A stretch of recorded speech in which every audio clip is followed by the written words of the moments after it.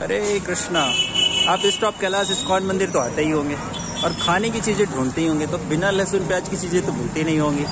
तो आप लोगों के लिए मैं आपको लेके चलता हूँ एक बहुत ही अच्छी जगह, हमारे प्रदीप प्रभु के पास, जहाँ आपको मिलेगा बहुत कुछ खाने को। तो आइए। हरे कृष्णा तो ये है हमारे प्रभु जी यहाँ पर कुछ लगाए हुए हैं। मैं भी पहली बार देख रहा हूँ। हरे कृष्णा प्रभु जी।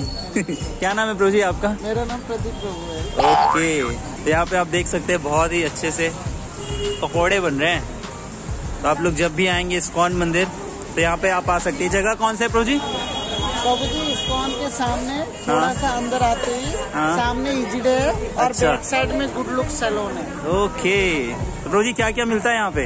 इडली सांबर वड़ा डोसा। हम्म।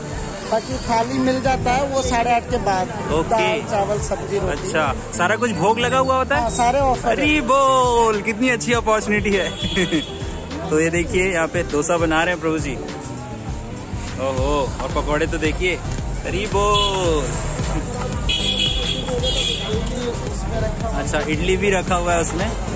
ओके तो क्या क्या कॉस्टिंग है प्रभु जी यहाँ पर? बहुत ही शायद बहुत ही प्रभु जी बाहर वैसे मैंने बैनर में अच्छा, लिख दिया हूँ। अच्छा। डोसा चालीस रूपए का है ओके। और वड़ा तीस रूपए और इडली बीस रूपए। वाह और थाली?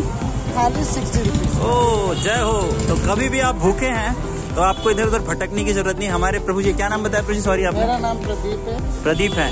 ओके प्रदीप प्रभु जी है।